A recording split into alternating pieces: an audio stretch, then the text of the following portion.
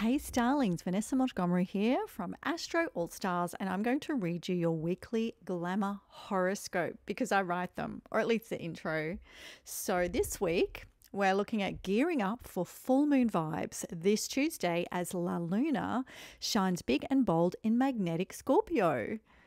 Balance the head and heart, material and metaphysical.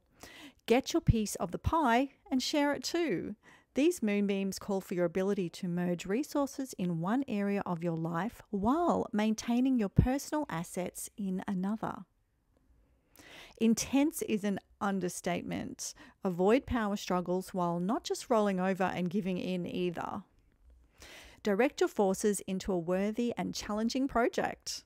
It's sexy, mystical, and promises a deep emotional purge and transformation if you're willing to confront your deepest desires and perhaps taboos.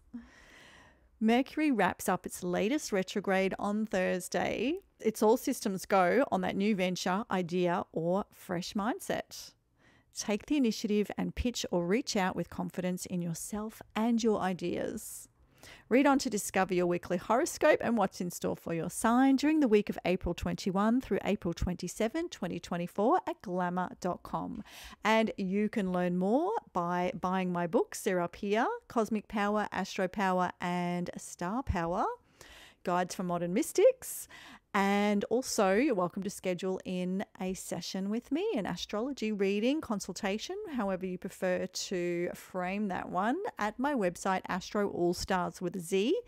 Mercury retrograde wrapping up. It's actually conjunct the North Node in Aries. So it gives a lot more to making that change, starting afresh, those Aries Mercury themes, Aries initiating, going for it, being fearless, and being independent, Mercury, an independent thinker or communicator, that fiery passion as well. So think about where Mercury has been retrograding in your chart. You can come and see me for a session. Again, uh, Astro Power, the middle book is all about transits, and that's what we're talking about birth chart, star power. So have a look at where that has flipped back and where it's going to cross back over. That might be where you've been think rethinking, reflecting, uh, reframing perhaps, or just having to go back and do something that you rushed over, knowing this sign particularly. So very interesting one. See what comes to mind. The full moon yeah, it's a doozy. It's in a T square with Pluto, and Pluto is the ruler of this full moon because Pluto rules Scorpio. So a full moon square its own ruler that's in a T square with the sun, uh, because the sun and moon are obviously opposite each other. So that midpoint is really key in this one that midpoint where Pluto is sitting at, I think it's two degrees Aquarius. This full moon is four degrees Scorpio. So, Pluto in Aquarius, Pluto packs a punch. It's a power player. Uh, in Aquarius, it is more detached than Scorpio and Taurus. And that's going to be the key for you that detachment, the power of the people. Um, getting a fresh look at things, getting a real sense of maybe the underbelly of even groupthink or power over the people. So with Pluto in Aquarius, the general theme is power power of the people or power over the people. That's how I'm reading that one. It's also a lot of new technology just really burgeoning and I don't think we've seen anything yet. So maybe we'll get a little glimpse into that. Uh, Vasa Dash 1 is Microsoft's new Talking Heads AI app thing, and it will uh, animate just one still photograph to an audio track and it's pretty close. It's still a bit weird but it's pretty close. So i mean i use some serious filters in this but it's still me. So if anyone has an issue with filters wait till you see this what's coming.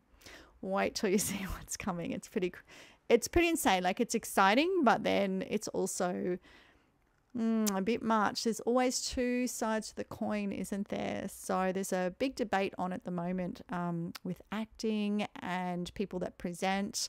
Uh, is AI coming to take your job? I mean, it can already think. Have you checked out Google Bard? Have you checked out um, Gemini? Is that Microsoft? I get confused. Anyway, they're all coming all at us in all directions, very useful. But my advice is don't outsource too much to these things because the human mind is uh, very efficient. And if it knows something else can do it, you're not going to be working on your own instrument. And at the end of the day, yes, there's the goal, but the journey as well. And if you don't develop your own mind and your own voice and your um, your own art, I guess, your own talents. You're not developing yourself, your self development, and have something to really be proud of. So just keep that in mind with the balance. Use it as a tool, don't be used, and um, don't outsource too much. Don't outsource too much. You know, the joy is in the journey also, and the goal and the paycheck. anyway, uh, over and out for me. Enjoy the full moon. It's intense. Don't be wrapped up in debate. And uh, have a brilliant week. And of course, as always, stay cosmic. Bye for now.